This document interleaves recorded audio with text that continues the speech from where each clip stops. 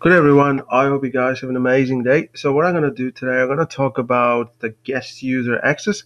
So uh, let me show you uh, an example. So I got an existing site, right? And let's say all sites,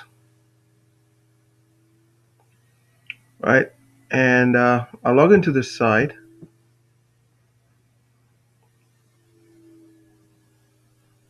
Yeah and you can see I have access to case, pro, contact, and product because I've logged in, which makes sense, right?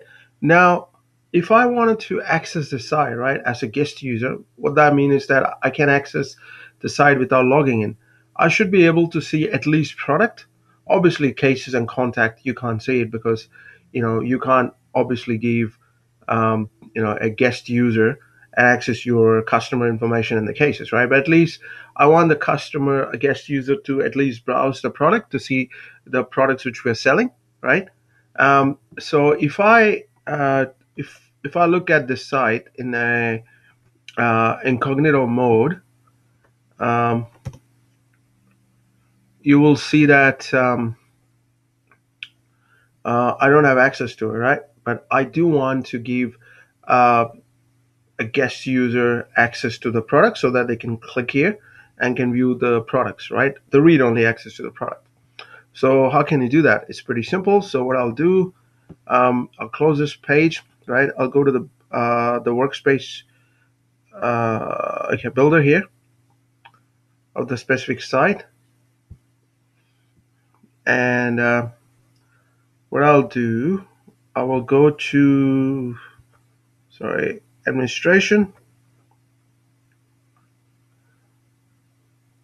Under administration I go to pages. And I'll go to the go to force.com so I will take you to the profile which is the help center profile. And I'll go to the public access settings. And I go to the object settings. Yeah and I look for product. Yeah um, this product come here. Um, I'm gonna do edit. And what I'll do I'll read. Click on read access okay? Which is exactly what we wanted. Okay so I'll save it. It's gonna take a while. Hopefully internet is not down. Um, so um, because we got this cyclone going on in New Zealand. So uh, I sometimes when things get slower, I wonder, oh, if the Wi-Fi is down. So fortunately not. Uh, so it's done. Now I'm gonna do. I close this one, right? And I'll go to all side. Yeah, this is um, what I'll do. Go to settings. Yeah, copy this one and I'll go to incognito window. Let's see what happens. Yeah, I got a product here, okay? Now when I click on product, you will see, hmm, that's interesting. Why can't I see any of the products here, right? Yeah, so the reason behind that because you will not have access to the items till you create a sharing rule. Uh, so what I'll do, I'll go to the all sites. Uh, sorry, I, will close this one, right? I'll go to your the the org, and under setup, what I'll do, I'll go to sharing settings, right? And um, what I'll do, I'll just do, I'll search for guest. See, secure guest user record access. Um, so this is ticked, okay? Keeping this setting enabled is a security best practice. So secure the access that guest user have to your org data.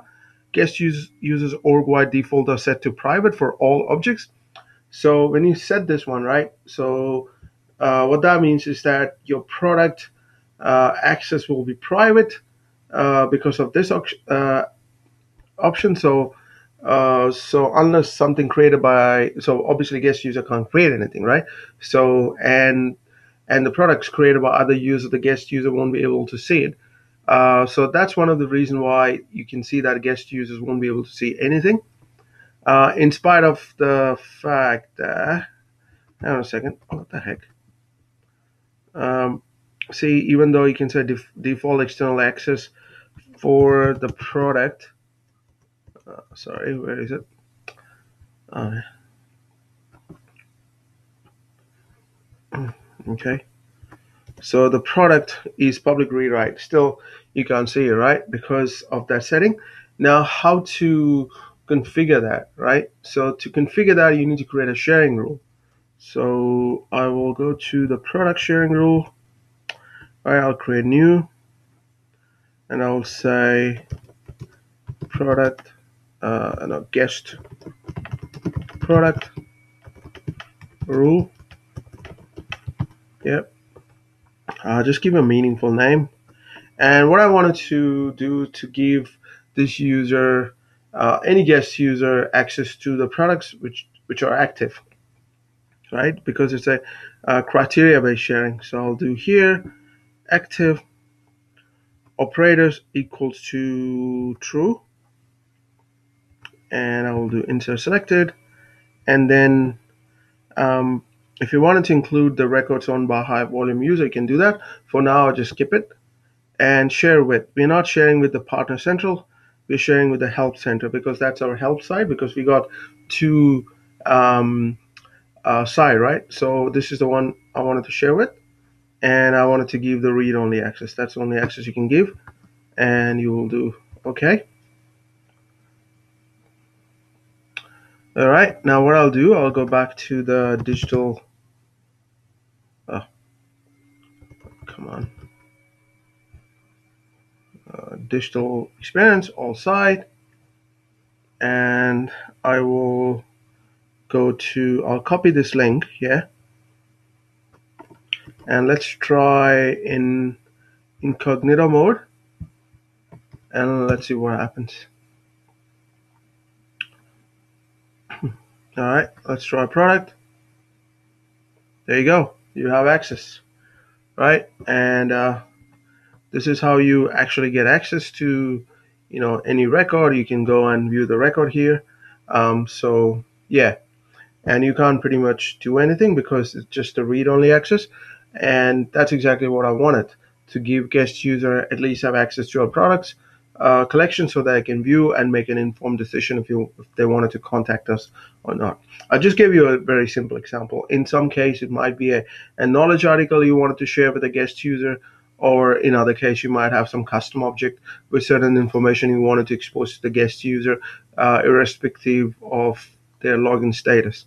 So yeah, so that's all I wanted to talk about in this episode. I hope you find this session informative because you know in your real life implementation scenario uh, you might experience this kind of uh, scenarios where you might want to give access to the guest user certain information and and certain information you don't want to give access. Like for instance in our case um, no k contact and uh, account. Sorry no case and contact right? Because obviously you don't want the guest users to have access to your customer information Right. And so one thing I just wanted to mention that uh, if you have noticed that I talked a bit about the sharing model, right? The how to create a sharing rule.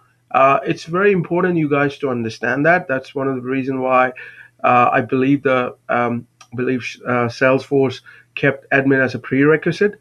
Uh, it's very important to understand because my, you know, you might have um, you know seen some courses which say zero to hero or whatever, right? The the term they say. I don't like to use that term because to me that's a disrespectful term. The reason why you cannot become a hero in two hours time, right? You're just saying that hey, you just spend two hours, that will negate the experience. That's not how it works. For me, uh, the way I look at it, right, you get the foundation right, and then you build on it on top of it. And it comes with your experience. The more you do stuff, more uh, scenarios you implement, the more you learn, right? And there's no hero to zero stuff here. It's just a pure, you know, I'm just teaching the concept using which you can build stuff. That's all it is. So that's pretty much I wanted to cover in this episode. I hope you guys have an amazing uh, Tuesday. Uh, if you're in Auckland, stay safe and adios.